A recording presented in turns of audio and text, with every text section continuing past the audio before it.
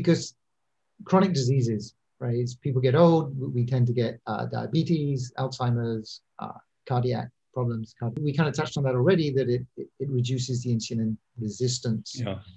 Um, so yeah, kind of how, yeah, I guess how does it do that? And can you elaborate on that?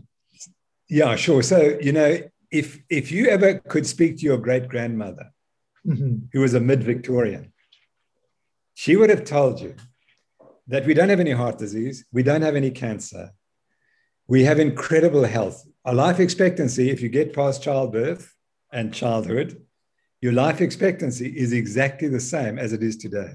So that's what your great grandmother would have told you. And she would have told you that they had a surplus of good foods in their diets. It all came from the farm and it was abundance. And then what happened in the 19, 1870s, all of a sudden, imported foods came from America, condensed milk, because the canning industry had just started. Mm. And the health of the British fell dramatically. And within a short, sorry, I'm just waving to some friends who've just come in.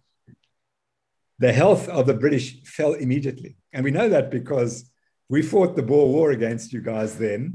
And, and the recruits, they had to turn away 50% of the recruits for the Boer War in England because they were malnourished because now they were eating bread and sugar and all those sorts of things, and their health had fallen.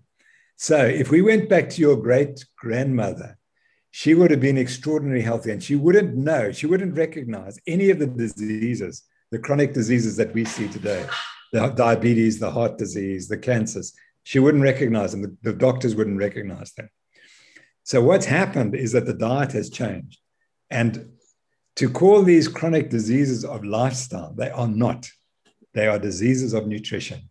Simple as that. So 85% of chronic disease is related to what we're eating.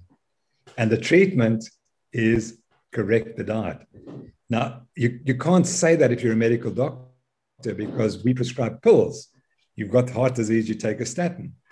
But the reason you've got heart disease is because you've got diabetes and you've got high blood glucose, you've got high insulin. And there's no drugs that effectively reverse that, as well as a keto diet.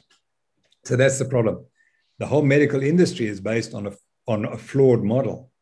The flawed model is that your disease is reversible with some pharmaceutical agent that just happens to be patented, just happens to make a lot of money for the pharmaceutical industry.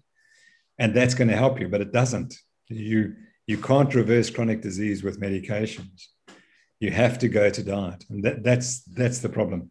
So all the 85% of the chronic diseases that, that we have are reversible with a high fat diet. Right. And so the, the underlying mechanism that's kind of at the root of all of that is the insulin resistance that, the, that builds up because you've just got too much sugar floating around. That's absolutely correct. Yeah.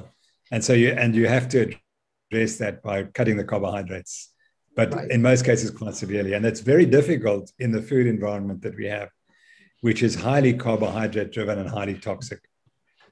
Uh, yes, yes, I would agree. I hope that you found the video informative.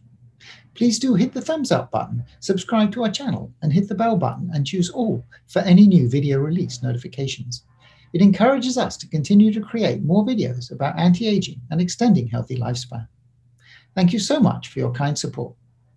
I wish you all well and will speak to you again soon.